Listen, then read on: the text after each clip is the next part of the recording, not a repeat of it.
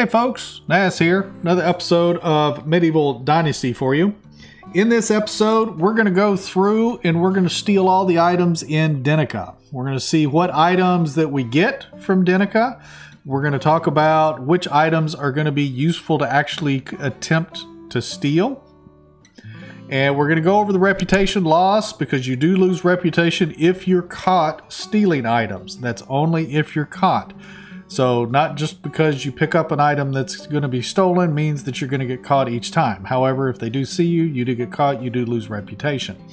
But anyway, let me go through. What I've done is I've emptied my inventory completely. That way, all we're going to be dealing with, you can see I'm even naked. I don't have any clothes on. I don't have any weapons on. I don't even have coins on me.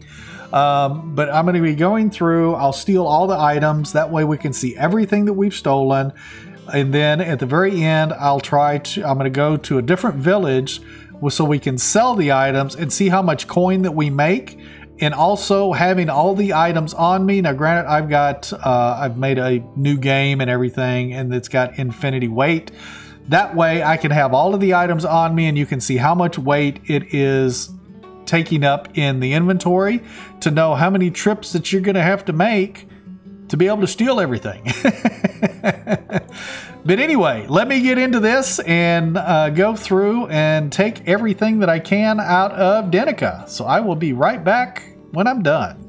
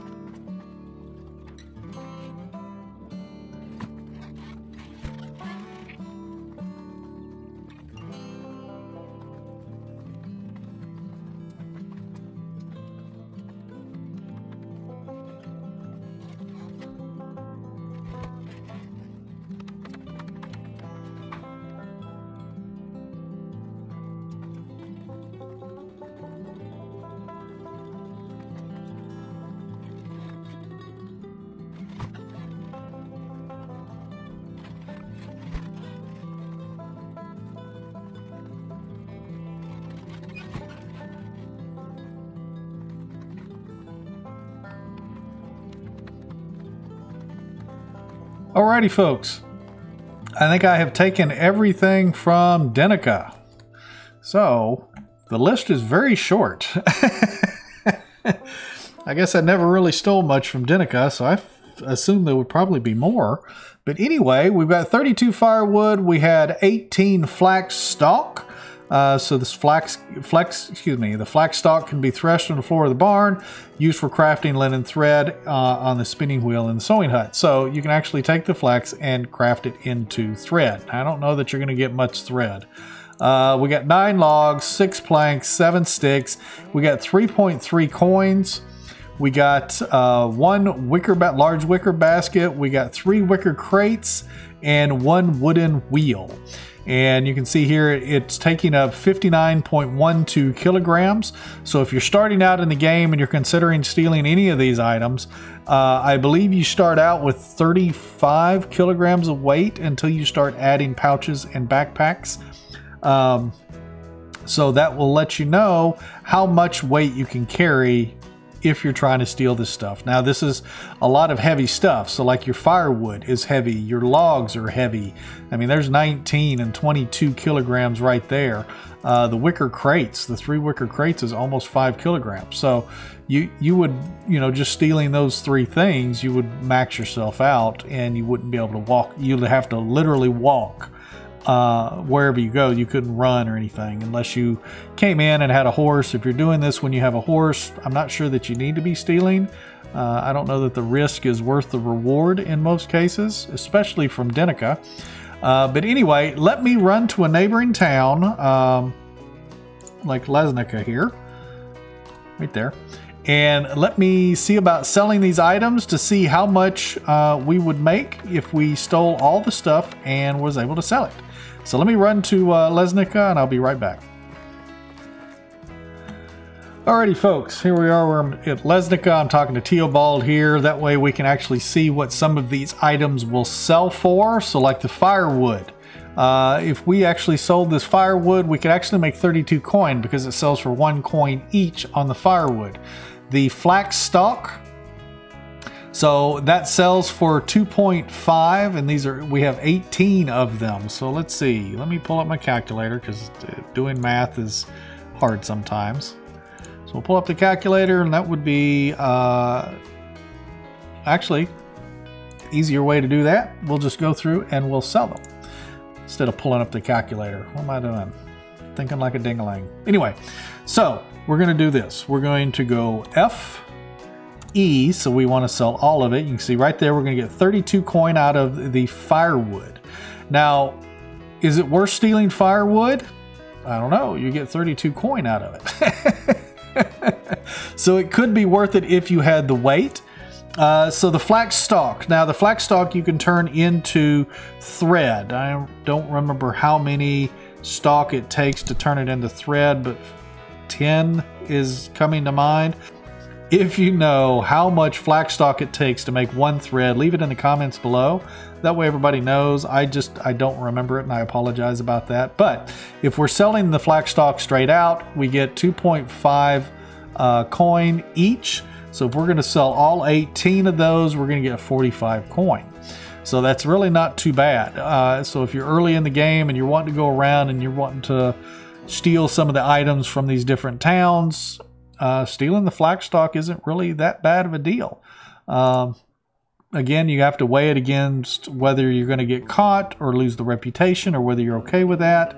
Uh, because every time you steal, if you get caught, you do lose the reputation. Now, the logs, if you're going to steal the logs to sell, what I would do is craft these into firewood because firewood also sells for one coin, just like one log.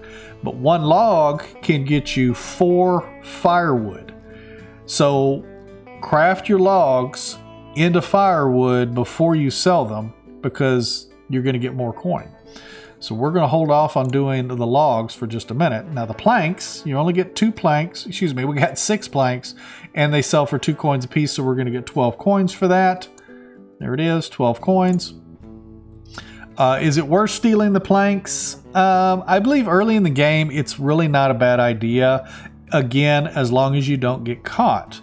Uh, because just from Gostovia, I think there's 23 planks that you could steal from Gostovia. And if you're building a small hut, it only takes 24 planks, if I'm thinking right, to do the upgraded roof. Uh, so you can, instead of a straw roof, you could have the wood roof uh, because I think it's 24 planks. And Gostovia's got 23, I believe, if I remember right. And then, of course, we had six here. And you can find planks uh, at some of the um, abandoned carts that randomly are generated in the game now. So that's it. Planks are, are a pretty good deal. Sticks. Do not steal sticks. Never worth it, uh, in my opinion. You've only got seven sticks. In order to turn that stick into something that's actually going to be profitable, you kind of are going to need the woodshed. Uh, because with the not the woodshed, I'm sorry, the workshop, uh, because you can actually turn one stick into one spoon or one ladle, and I believe those sell for one coin a piece. Uh, but as far as stealing sticks, I don't think it's profitable to steal sticks at all. However, we are going to do that, and we're going to sell those, and we only get 0.7 coin. Again, not worth the time. Now, this large wicker basket sells for 12.5 coin. That's not bad, uh, you know, in the grand scheme of things. So, again, if you could steal it without getting caught, it's worth it because it's 12 and a half coin. And early in the game, you're trying to get as much coin as you can. Now, granted, there's other ways to make coin and stuff, but we're actually talking about stealing items of what you can steal from each little village uh, and how much they sell for. So, the wicker crates, we got three of the wicker crates and they sell for 15 coins. So again, that's another 45 coin. Two items, we've made 90 coin. So the wooden wheel sells for 20 coin. So that's not bad. They've changed the price of the wooden wheel. That's pretty good because I thought the wooden wheel sold for less than 20.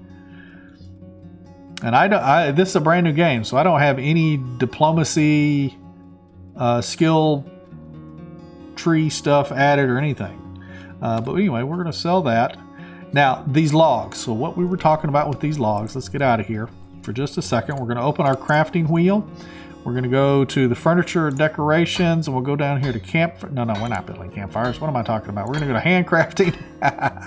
we're going to go down here to firewood. So again, if I did that too quick, you open up your crafting wheel, go to handcrafting down here in the bottom left, swing all the way around to the bottom right uh, to where it says firewood. You hit R so you can craft multiples, and then you can hit E so you can craft all nine of those. And we're going to craft those nine firewood real quick. So instead of getting nine coin because we would sell nine logs, we're going to turn these these nine logs into uh, what is that?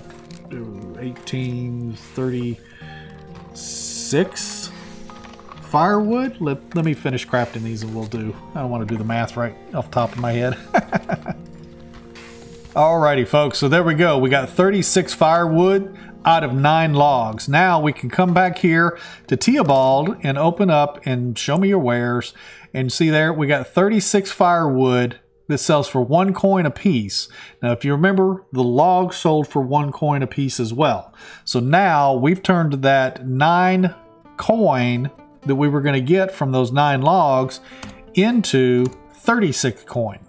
So if you are stealing logs to sell, you want to craft those logs into firewood because you definitely get more coin doing it that way.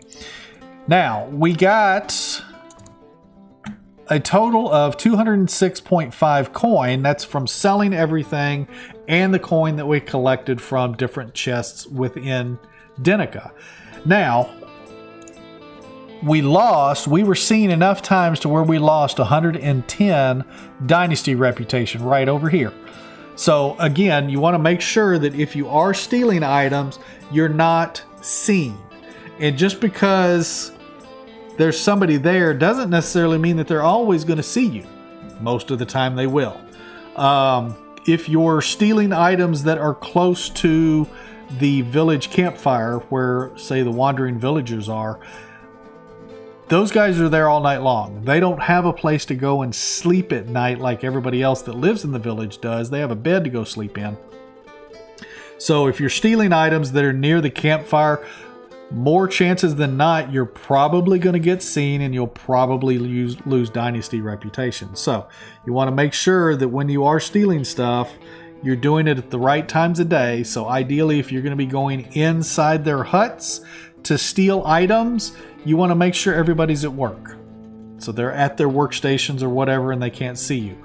Uh, if you're stealing at night, everybody's in bed. Ideally, you don't want to go in their huts trying to steal stuff because they're right there. Even though they're sleeping, they could see you. Also, at night, you have the wandering uh, security guard guy that walks around with the torch. You want to make sure that he doesn't see you.